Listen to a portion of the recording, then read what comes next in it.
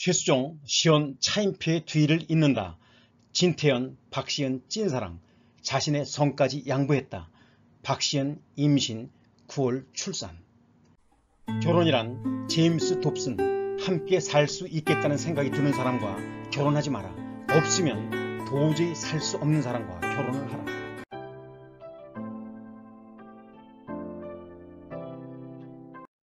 박시연님의 종교는 기독교입니다.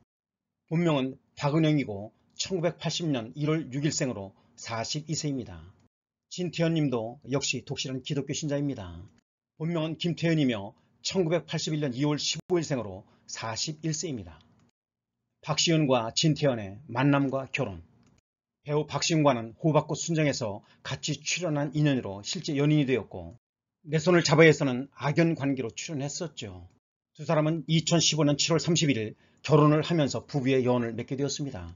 호박꽃 순정에서는 진태현과 이청화가 연인이었고 박시현은 진태현을 짝사랑하는 역할이었죠. 진태현은 아내 박시훈과 공개 연애 중에 한 인터뷰에 따르면 술과 담배를 안 해서 술자리도 거의 없고 쉬는 날 집에서 영화를 보거나 야구 경기를 관람하러 경기장에 가거나 아내와 함께 두산 베어스 열성 팬으로도 유명합니다. 또한 펜웨이 스포츠그룹 팀의 보스턴 레드삭스와 리버풀 FC의 팬이기도 하죠. K리그에서는 강원 FC를 응원하고 있습니다. 진태현은 쉬는 날이면 박시은과 성경 공부를 하고 있었다고 합니다.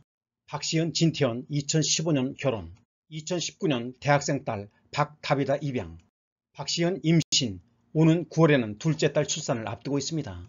2022년 2월 21일 인스타그램 게시물을 통해서 두 번의 유산 끝에 다시 임신에 성공했음을 밝혔습니다. 박시은, 진태현, 태은아 안녕, 성별은 공주님입니다. 둘째 태은이는 누구 성을? 진태현 엄마 성을 주면 엄마만큼 사랑할 수 있겠다. 박시연 책임감이 엄청 생겨요. 박시연 나 정말 진태현과 결혼 잘했구나.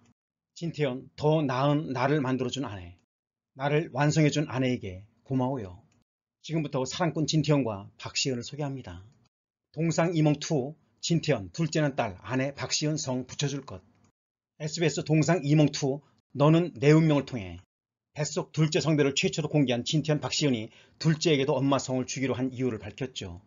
시청률 조사회사 닐슨 코리아에 따르면 지난 25일 방송된 SBS 너는 내 운명에 수도권 가구 시청률은 5.5%, 화제성과 경쟁력 지표인 2049 타겟 시청률은 1.7%로 이날도 어김없이 동시간대 1위와 월요 예능 전체 1위를 차지했습니다. 특히 2049 시청률만으로는 4주 연속 1위를 차지하는 기염을 토했고 분당 최고 시청률은 7.2%까지 올랐죠. 지난주 방송에는 너는 내 운명 5주년을 맞아 진태현 박시은 부부가 1년 4개월 만에 컴백 둘째 임신 후의 일상을 공개해 뜨거운 관심을 받았는데요. 지난주에 이어 25일 방송에서는 태아 검진을 위해 병원을 찾은 두 사람의 모습이 공개됐죠. 지난 검사에서는 태아가 여가 상태로 확인돼 자연 분만을 시도하는 것조차 불가능했던 상황. 그럼에도 박시현은 할 수 있다면 자연 분만을 하면 좋겠다는 바람을 전했었는데 이날 검사에서는 다행히 태아가 정상 위치로 돌아왔다고 해 진태현 박시은 부부를 웃게 했습니다. 병원에서 아이의 성별을 들은 진태현은 박시은의 두 손을 꼭 잡는가 하면 연신 됐어 라고 외치며 기뻐했습니다. 또한 이날 두 사람은 첫째 다비다에 이어 둘째 태은이 역시 엄마의 성을 붙여줄 것이라고 밝혔습니다. 진태현은 언니가 엄마 성인데 동생도 엄마 성을 줘야 하지 않을까 생각한다라고 설명했죠.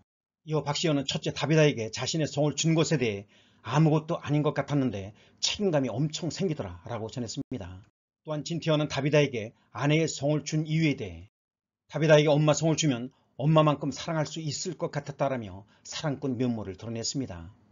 마지막으로 서로에게 고마웠던 점을 묻는 질문에 박시현은 요즘 들어 문득 이 사람과 결혼해서 참 감사하다는 생각이 든다. 하루하루 사랑받고 있다는 걸 느끼게 해주고 늘 저와 가족을 먼저 생각해줘서 난 진짜 결혼 잘했구나 라는 생각을 많이 했다라며 눈시울을 붉혔죠.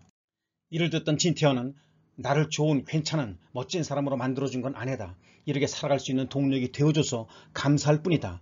가족을 위해 살아갈 수 있게 만들어준 아내에게 너무 고맙다라고 말해 감동을 안겼습니다. 명품 브랜드 아기옷 unboxing 박시은 임신에 전세계에서 아기옷 선물 줄줄이 배우 박시은이 지은 선물을 자랑했습니다. 박시은은 28일 자신의 SNS에 태은이라며 하트 이모티콘을 게재했죠. 이어 박시연은 태명은 태어나고 나서 이름이 정해지면 거의 불릴 일이 없어지겠죠. 이렇게 태명을 새겨서 선물을 해준 정성의 감동 태연이가 평생 간직할 수 있게 잘 챙겨뒀다 줄게요. 고마워요 언니라고 했습니다. 박시인은 이외에도 선물을 보내주신 지인분들, 팬분들 모두 모두 너무 감사합니다 라고 고마워했죠. 박시연은 지인으로부터 직접 받은 선물 상자를 풀어봤고 그 안에는 태은이라는 이름이 새겨진 아기 옷이 담겼습니다. 박시연은 자신의 임신 소식에 태명인 태은을 자수로 새긴 특별한 선물을 받고 기쁨을 감추지 못했죠.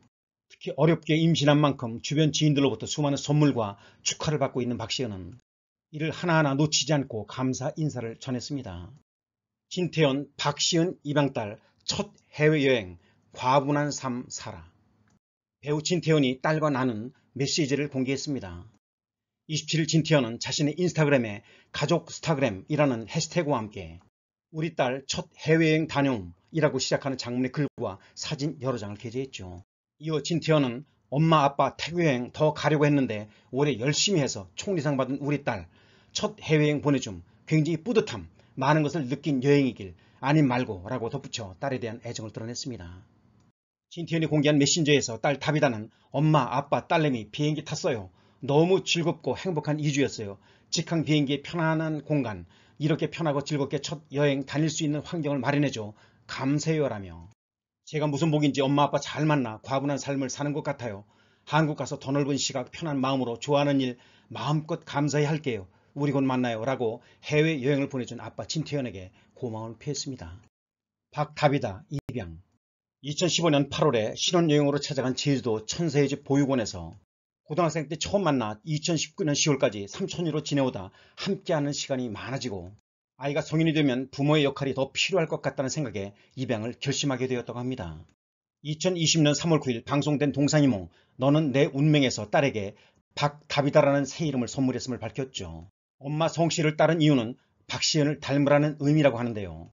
다비다라는 이름의 뜻은 신약성경의 사도행전에 등장하는 여성으로 베드로의 조력자이기도 하며 선행과 구제에 힘쓴 인물이기도 합니다. 키포인트 신학 다비다는 누구인가? 사도행전 9장 36절 요바의 다비다라 하는 여자가 있으니 그 이름을 번역하면 도르가라 선행과 구제하는 일이 심히 많더니 암사슴 영양이란 뜻이며 도르가의 아람식 이름이다. 구제와 선행으로 유명한 육바의 여자 성도 그녀가 살았을 때 과부들에게 속옷과 겉옷을 지어 입히는 등 많은 선행을 베풀었었다. 그녀가 병들어 죽자 그곳 제자들이 루따에 있던 베드로를 급히 초청했고 베드로가 도착하자 그곳 과부들이 와서 그녀의 지난날 선행과 사랑을 전했다. 그런 후 사도 베드로의 기도를 통해 그녀가 다시 살아났다. 그녀가 되살아난 사건은 요빠 지역의 복음 전파에 큰 힘이 되었음에 틀림없다. 크리스천 진태현 박시윤님의 임신을 진심으로 축복하며 아름다운 출산을 응원합니다. 앞으로도 꽃길만 걸으시기를 위하여 기도하겠습니다. 오늘도 성령님과 동행하며 축복받는 하루가 되시기를 기원합니다. 크리스천 튜였습니다. 감사합니다.